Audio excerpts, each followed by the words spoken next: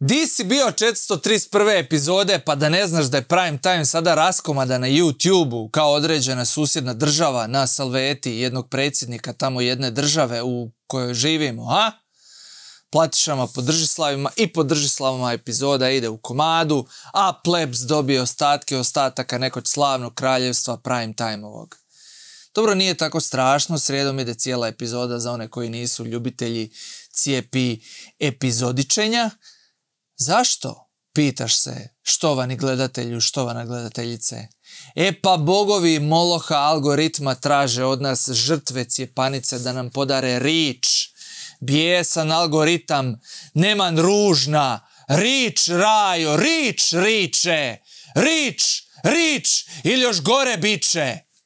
E pa da ne dođe do smrti prime time moramo se i mi prilagođavati, biti šerabilniji u manjem formatu, skupiti više pregleda, više lajkova, više komentara.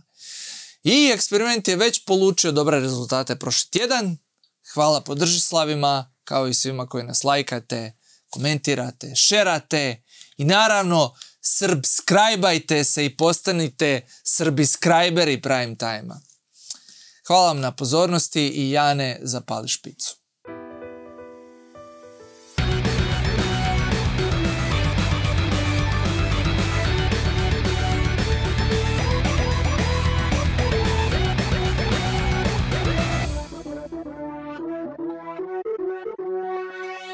Dobro večer, vi gledate 432. prime time ljeta gospodnjeg, ja opet domagoj pisak se o ledine elektroničke, da smo preživjeli još jedan tjedan bez da smo digli sami sebe u zrak.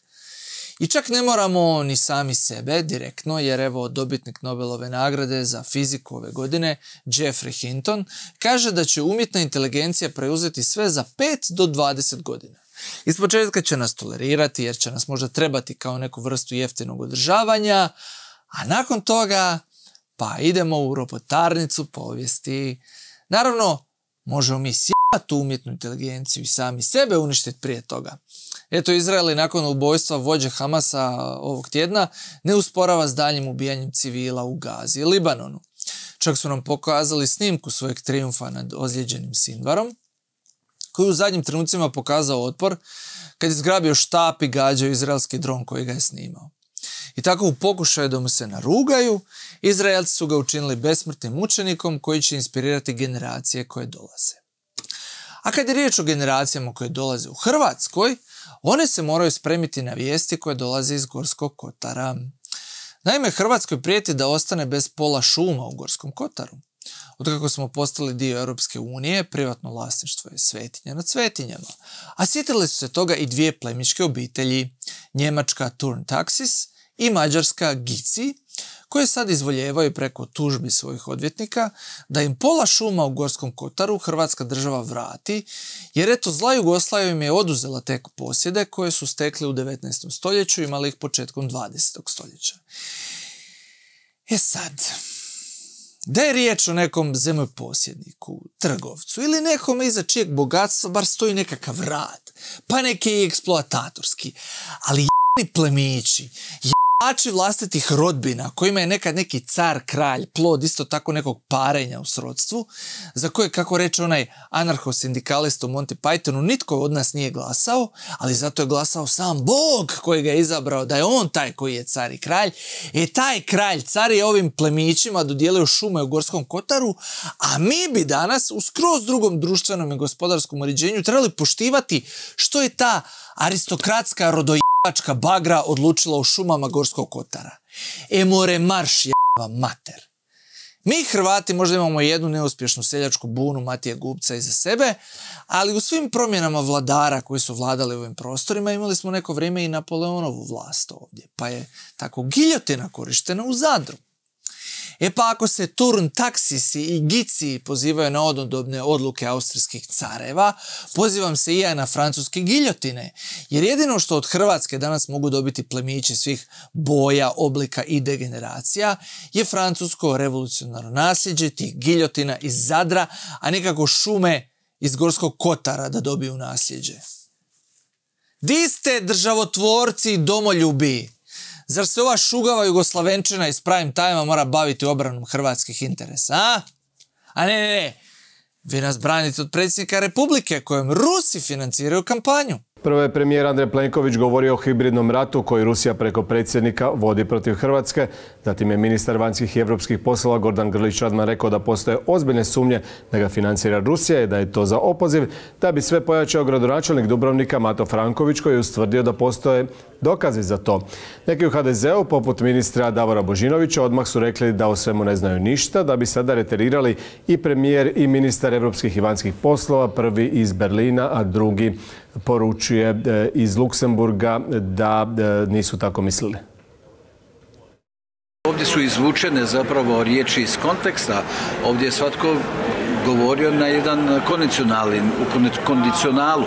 Znači da postoji indicije, da je, da je vjerojatno da s obzirom na činjenicu da imate i razne pokrete u, u Europi koje, gdje postoji javni dokazi da se financiraju iz Ruske federacije, a ovdje zapravo treba napraviti distinkciju između proruskog i ja bih rekao marionete. On ovdje zapravo predstavlja marionetu ruskog režima. Meni je malo smiješno gledat njega kao korisnog idiota u interesu Rusije.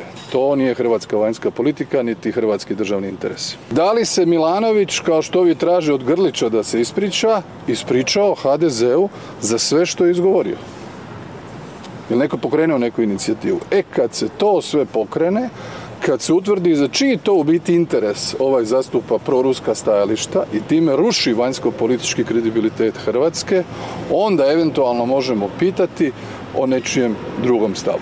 To vam je bitno. Ma sjajno, dečki. Je li biste govna obojica u kondicionalu, naravno? Kibi Dabi Radman se žali da su mu riječi izvučene iz konteksta, iz kondicionala ili ti pogodbenog načina. Radman inače zvuči kao netko od koje je puno u tom kondicionalu. Njegov mozak se pogodi s ustima, da usta sad neće reći neku pizdiju, ali usta uvijek iznevjere tu pogodbu i prospu neko sranje. Tako da nije on kriv što je glup, nego su mu usta u neuspješnom kondicionalu. Otud je ideja da je ono što je on rekao kondicional i sad citiram. Njegovu kampanju očito financiraju možda i neki ruski izvori. Predmnijevamo s obzirom na njegovo ponašanje. E to nije kondicional ti s pameću nepogođeni ministre.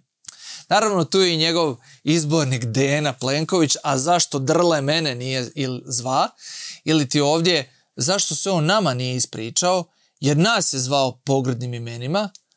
Mislim, reći nekome da mu Rusi financiraju kampanju nije pogrdni naziv, nego optužba zbog koje se predsjednika smijeni, ide u zatvor zbog izdaje. Ali hajde nek nam ovaj SOA kaže kako stoje stvari. Predsjednik odbora za unutarnju politiku i nacionalnu sigurnost SDP-ov Ostojić od SOE tražio i dobio odgovor na pitanja financiraju li Rusi Milanovićevu kampanju i prikupljaju li se dokazi o tome da bi Rusi u posljednje dvije godine financirali na bilo koji način predsjednika države. Na oba pitanja stigao je negativni odgovor. Sam rekao šta sam pitao i nadal sam dobio negativan odgovor, detalje ne mogu govoriti. Da li Možemo li kategorički negativan odgovor? Kategorički negativan na ovo da niko ne financira predsjednika? Da, odgovor je negativan. Znači da bi svaka politička rasprava zapravo tu trebala stati? Što uh, se mene tiče, što se mene tiče, ono što sam tražio, mi smo to dobili, oni koji su za to zaduženi su vrlo konkretno na to odgovorili, prema tome to više nije pitanje za mene, to je pitanje za one koji obavljaju vrlo odgovorne funkcije u ovoj državi, od ministra vanjskih poslova, pa do i ovih koji bi trebali biti kandidati za predsjednika, da ne šire lažne informacije. O moj Bože. Znači, SOA je kompromitirana od strane FSB-a. Nema drugog objašnjenja odakle im ovo da predsjednika Milanovića ne financira Rusija, kad je to već jasno i djeci i odraslima s dječjim mozgom, poput ministra Radmana. Osim što predsjednika treba smijeniti, sad treba i pohapsiti. Tko zna koliko soavaca. Jesam dobro shvatio? Iako je sigurnosno obavještajna agencija eksplicitno potvrdila da nema nikakvih informacija o tome da Rusi moguće financiraju kampanju Zorana Milanovića, HDZ od svoje priče ne odustaje. Tvrde da Milanović radi veliku štetu Hrvatskoj, pa se opravdavaju da je tvrdnja Gordana Grlića Radmana, koja je izazvala veliku pažnju, samo dio političke rasprave i odgovor na takvo njegovo ponašanje, a ne lažna vijest što zapravo jest. U političkom nadmetanju, u e, takvoj razini komunikacije vidite da je moguće sve. Ja ne kažem da je to nešto što je idealno, što mi trebamo priželjkivati, međutim izvor svih ovakvih natruha u javnom komuniciranju je nažalost a nismo to od njega očekivali, dakle predsjednik Milanović. Da, da ste vi na mjestu gospodina Grlića Radmana i da svaki put kad predsjednik progovori o vama, vam iznese vrlo nekulturne, obiteljske a, a, uvrede, ko vam je otac, čime se bavio, čime se vi bavite, na koji način ste stekli imovinu, koje razine intelektualnog dosega ste vi. Ja mislim da ni vama ne bi bilo ugodno i sad u takvoj situaciji je došlo do ovakve razine političkog komuniciranja. Dakle, ako vas neko vrijeđa, u redu je širiti lažne vijesti. Ako toga. vas neko vrijeđa, a mi bi trebali po kršćansku šta? Okrenuti drugi obraz. Ili Ne, kršćanski bi trebali držati se one sedme zapovjedi Božje, ne ukradi, ali to vama tamo baš i ne ide u HDZ-u. No, sviđa mi se ova žalopojka Piletićeva, kako su oni žrtva ovdje. Da, da. Podsjeća me na Harvija Denta na kraju Dark Knighta, kad drži pištolj na slipočici sina Jima Gordona i objašnjava Batmanu da je suludo bilo misliti da možeš biti pošten u nepoštena vremena. A HDZ se zapravo svo ovo vrijeme upravo to trudio. Biti pošten. Onda je došao Joker Milanović i spustio ih je na svoju razinu. I sad su se oni odali lažima, lažnim optužbama, opanjkavanjima, objedama, dezavuiranjima, ali to nikad nisu oni bili. Da parafraziramo Jokera, laganje je kao gravitacija. Netko te samo treba pogurneti. A njih je Joker Milanović gurnuo u laži. Nevini ljudi i žrtve Milanovićevih laži.